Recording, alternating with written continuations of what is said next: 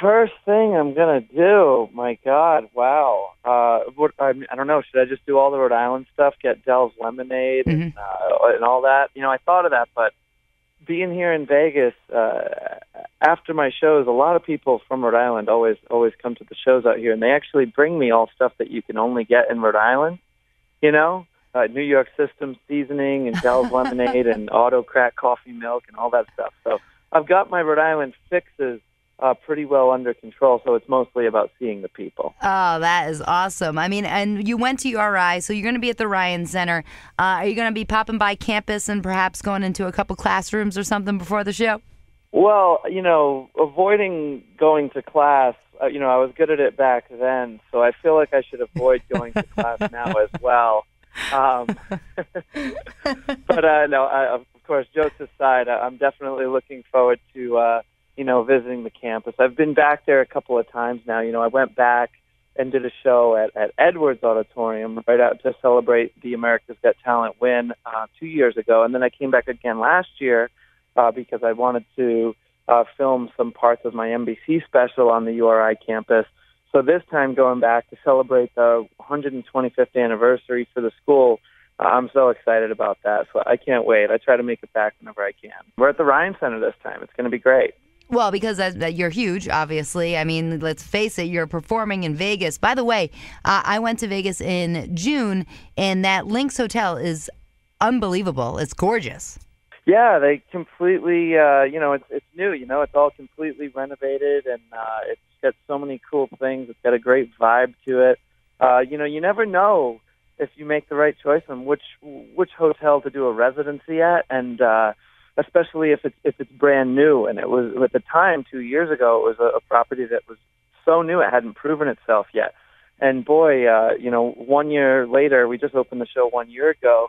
Uh, I just feel so excited about about the choice to to go with the LINQ, and I think we're we're growing together. You know, I think it was just a, an amazing choice. I love the theater there, and uh, I, I love the vibe. It's, it's really cool. Yeah, it seems like a definitely uh, cool hotel. Do you get sick of seeing your face on billboards? You know, I thought I thought that that would blend into the white noise and something that I would become used to, and it really doesn't. It's still really bizarre uh, to you know just be walking down the street and there's a bus goes by that y- your face is covering the whole side of the bus or a billboard or a taxi cab or, or even on the side of the LINQ. It's just like it it feels like it's everywhere. It's a little overwhelming. It's like, oh, well, th- there I am. That's weird. You know, uh, I went to play blackjack the other day, and I went to sit at the table, and the table was my face, and I ended up playing blackjack on my own face. I was like, this is just too strange. I gotta leave. I gotta get out of here.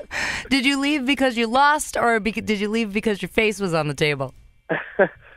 a little of both. I guess. they wouldn't let you uh, touch the cards. I'm assuming. I, I I did I did actually win to be honest with you. I, I not a big win, but I came out ahead, and and that's the other reason I said you know I gotta I gotta go. You know you gotta gotta not get too into it. You gotta just you come up a little bit and then you and then you walk away. Well, that's funny. Uh, you, uh, what are we uh, going to expect on your show uh, when you're coming once again? The Ryan Center, February 11th, and tickets go again uh, on sale on Friday. What can we expect from the big show besides your perfection? Oh, thank you. Wow, you're really you're really nice. Um, I'm really looking forward to get back so that I can just you know bring bring what I do to everybody. I want them to be able to see it in person. You know, it's been a while that uh, because I've been in Vegas for the past year. Uh, it's been a while since people on you know on my hometown side of the world have only been able to see the stuff that I do on TV. So I would love to to bring it back so people can sort of experience it live. It's going to be sort of a an emotional performance for me. I'm excited to get back. It's been a long time coming, and I had to to work hard to make it happen because I'm doing so many shows out here. And Vegas is like, no, you can't leave. I'm like, look, I gotta leave. I gotta go do this one gig. I gotta go back to Rhode Island. Uh, so for me, it's it's just exciting to be there uh, with everybody. But you can expect my brand of magic, the the magic brand that I sort of uh, cultivated that, that you've seen on the, the TV for the past couple of years, and, and to bring that back and to do it uh, in person with everybody. It, it's it's really about all the interactive stuff, and that's that's why I'm looking forward to be there, so that I can do all the sort of interactive magic with everybody, Mhm. and uh, and see how it makes people feel. Hopefully, it makes them laugh and have a good time. Oh, definitely. There's no doubt about that. You know, everyone, especially just to have you back, just to, to be back in Rhode Island, everyone's going to go crazy uh, for you just because we're all so proud. I mean, you have your own show in Vegas. Did you find that it was a little harder to stay in one spot for so long and not travel as much, or were you just cool because the hotel was so cool and it's different crowds every night, obviously?